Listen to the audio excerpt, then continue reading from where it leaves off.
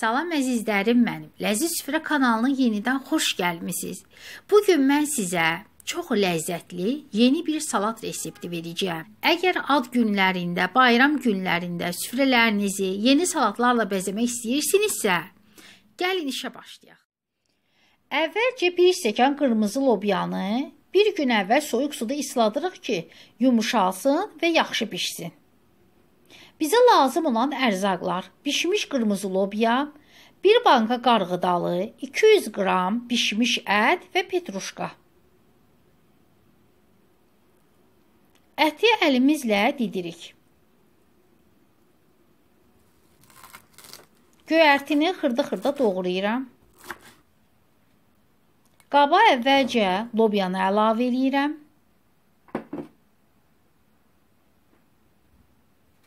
Qarğıdalı,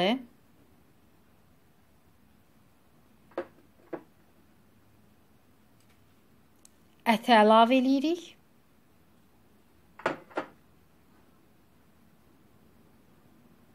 Və xırda doğranmış göyərtini əlavə eləyib yaxşıca qarışdırırıq.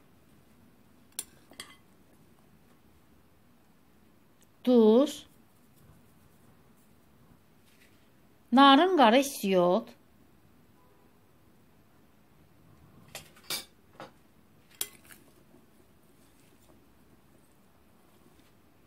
Zövqə görə mayonez əlavə edirik.